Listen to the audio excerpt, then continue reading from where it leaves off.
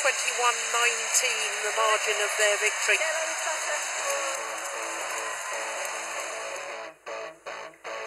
Coach Naga Api, itulah julukan yang disematkan para pecinta bulu tangkis kepada Harry Irman Pierre Ngardi atau Harry IP. Harry dikenal karena kepiawaiannya memoles pemain ganda putra hingga menjadi pasangan kelas dunia. Sebut saja Chandra Wijaya Tony Gunawan, peraih medali emas Olimpiade Sydney 2000. Chandra Wijaya Sigit Budiarto, juara All England 2003. Lalu Muhammad Ahsan Hendra Setiawan, peraih gelar juara dunia sebanyak tiga kali. Kevin Sanjaya dan Marcus Fernaldi Gideon yang merajai Super Series dan memuncaki peringkat dunia selama lima tahun. Dan kini ada Fajar Alfian Rian Ardianto yang tampil gemilang di sepanjang tahun 2022. Harry Yung ke negara lain. Selama 23 tahun melatih, Harry telah menghasilkan banyak gelar. Namun, ada juga pasang surut yang tidak mudah bersama anak buahnya. Bagaimanakah perjalanan karir dan harapan Harry untuk bulu tangkis Indonesia? Semuanya akan dikupas tuntas di Up Close kali ini. Pemirsa di mana pun Anda berada, senang sekali kita dapat kembali berjumpa tentunya di acara Up Close. Dan saya yakin banget tamu saya kali ini pasti sudah ditunggu-tunggu oleh netizen. Uh, se-Indonesia loh, pasti. Karena kemarin sempat ada beberapa berita menarik. Dan beliau ini adalah pelatih ganda putra Indonesia. Kalau ngomongin ganda putra, prestasinya gak pernah habis ya siapa dulu dong pelatihnya. Sudah hadir bersama saya, Heri Ipe. Ko Heri, Halo, apa kabar? kabar baik. Salam olahraga kok. Amin, Aduh, olahraga. seneng banget ada Ko Heri Ipe di sini bersama saya. Kok, Ya. eh, jadi kalau hitungan melatih, udah berapa tahun sih kok? Kalau mulai karir saya sebagai pelatih sih tahun 8 88 nih udah jadi pelatih. 88, 89 lah, 89 bulan Mei. Oke, berarti 2022 berarti 33 tahun. Ya, Luar biasa. Gimana kok rasanya jadi pelatih selama 33 tahun? ya nikmatin aja kita jalanin kan ini memang salah satu dibilang panggilan atau hobi juga gitu. Jadi saya ngerasa enjoy enjoy aja ya, nggak ada rasa beban, nggak ada rasa apa, cuman inilah pilihan saya, hidup saya udah eh, separuh dari hidup saya udah di- jadi pelatih. Jadi saya nikmatin, nikmatin banget. Iya, kok eh, banyak orang justru beban, loh. apalagi melatih sektor yang apa ya penuh tekanan harus juara.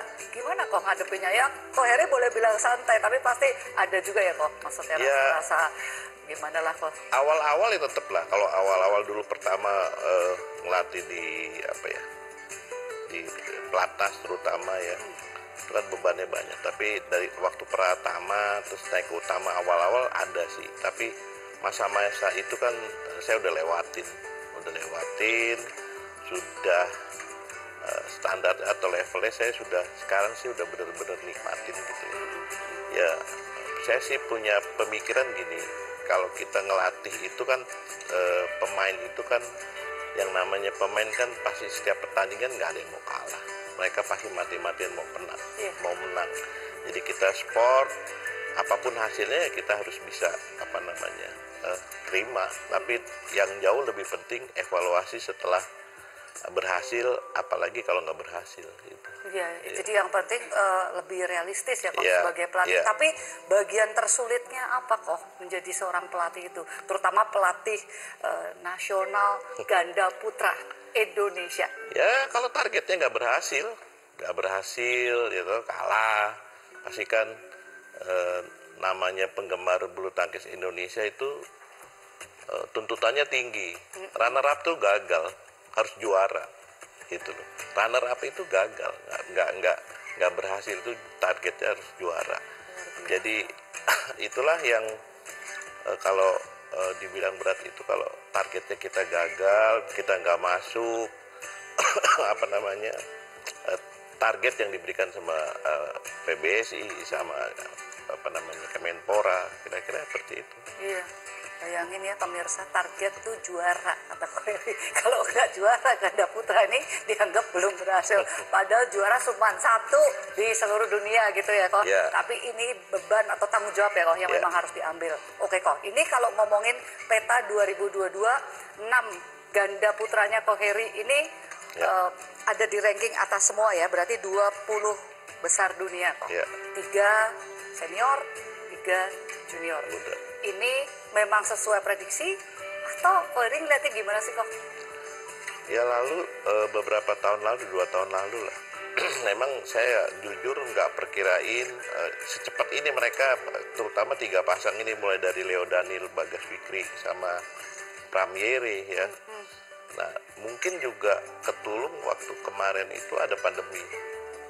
Kan setahun lebih kita nggak ada pertandingan. Jadi latihan, latihan, latihan terus. Nah mungkin di situlah eh, apa namanya pemain-pemain eh, tiga pasang yang muda ini ketarik sama yang senior Nah itu. itu itu mungkin yang saya evaluasi saya perhatiin oh waktu selama satu tahun itu kan nggak ada pertandingan kita latihan terus tiap hari latihan gabung muter semua nah tiga pasang pemain muda ini eh, secara otomatis ketarik gitu Iya ya, bener juga itu ya itu kok. yang evaluasi saya yang saya lihat eh, apa namanya grafik yang terutama pemain-pemain muda tiga pasang ini naiknya cukup cukup signifikan selama pandemi itu ada ada sisi untungnya juga sih menurut Nah, saya ya, pandemi bener itu. juga ya Ko Eri. Maksudnya tuh eh, cepet mereka nyusul, Iya. ternyata benar pandemi itu membuat mereka latihannya bareng sama senior. Seberapa penting sih kok? Maksudnya mereka ini berlatih dengan para senior yang ada kok. Kalau menurut saya sangat penting ya. Jadi salah satu kunci keberhasilan pemain muda itu biar bagaimana tuh ada di atasnya ada seniornya yang narik. Kalau kita ambil contoh di satu kelompok ya, pemainnya yang sekelas semua segitu, umpamanya bukan papan atas, ya berkembangnya akan akan maju sih maju tapi lama gitu loh. Karena nggak punya standar itu Iya, ya kok karena untuk dikejar ya kok. Kalau di ganda putra kemarin kan ranking 1, 2 sama 5, 5 besar lah ada di kita. Jadi standar mainnya mereka sama yang eh, pemain dunia yang di luar lain itu kan hampir sama. Jadi Hmm. Ketika pemain junior tiga pasang ini ngikut jadi levelnya tiap hari main terus keangkat ketarik. Iya iya iya. Itu itu pentingnya eh, apa ada pemain beberapa pemain senior yang bisa narik pemain-pemain mudanya gitu. Dan ini terjawab ketika setahun tidak ada pertandingan, kemudian hasilnya mereka nyusulnya cepet banget Ya, gitu ya kok. ya, Jadi ya. ada buktinya juga di sana ya Ya, kok. ya. Tapi banyak pertanyaan dari netizen bahwa apakah memang ganda putra ini pemainnya Hmm. tuh kok punya teknik pukulan yang beda dari negara lainnya. Di samping memang prestasi kok kita bicara Ya, latihan ya kok. ya. Apa benar apa enggak sih kok? tetap eh, setiap negara itu eh, saya jawab sih betul karena setiap negara itu punya eh, style karakter permainan masing-masing jadi eh, kalau di Indonesia itu boleh dibilang memang kita eh, kaya sama teknik permainan ya teknik Kaya teknik- dengan teknik permainan. macam-macam variasi pukulan kita banyak Itu benar ya kok? itu betul kita harus akuin ya jadi kalau di negara lain itu beda stylenya beda lagi beda setiap kalau eh, Korea yang hampir sama Korea Cina Jepang tuh hampir sama sebenarnya itu. Indonesia tuh tersendiri Nah itu dia kok. Eropa beda lagi gitu ya Tapi tersendirinya kita itu yang menonjol gitu ya kok? Iya, jadi memang ada beberapa kali sih saya saya mungkin netizen pernah baca atau pernah dengar lihat gitu. Waktu top-topnya Leongde itu kan waktu itu Asan sama Hendra. Waktu itu kita masih kalah itu, masih sering kalah. Tapi dengan dengan apa evaluasi dengan belajar itu kita bisa ngatasin. Ketika ada wartawan mana yang tanya ya, eh, Leongde itu negara pemain mana sih yang paling susah dihadapin dia sebut Indonesia jadi kalau lawan Indonesia tuh mereka harus utaknya harus memikir Hmm, cari cara ya kok? cari cara karena eh, cara bermain kita tidak hanya mengandalkan power aja. Nah itu. power speed kita nggak selalu ngandalin itu. Kita mengandalkan teknik permainan suasana situasi lapangan. Karena main di dunia bulu tangkis di kejuaraan dunia di mana-mana kejuaraan open di Inggris di, Jem- di Jepang di Cina Indonesia karakter lapangannya nggak sama Jadi karakter lapangan tidak sama tuh penting, sebegitu pentingnya kok? penting sekali kalau main di Indonesia Open kita udah merem anginnya sebelah sini sebelah sini Kita- kita tiap tahun mainnya di Austora Udah hafal lah. udah hafal. Kalau kita main di All England, gedungnya itu kita udah tahu. Main di Jepang, kecuali pindah-pindah itu kita yang suka bingung. Kita harus adaptasi lagi eh, suasana lapangannya. Seperti itu. Sekaligus maksudnya netepin nih mau mainnya Pola apa? ah pola apa. Pola apa? Aduh, memang ya kalau ngomong sama pelatih top nih udah beda, udah beda levelnya, sedetail itu. Baik pemirsa, kita ikuti dulu pesan-pesan.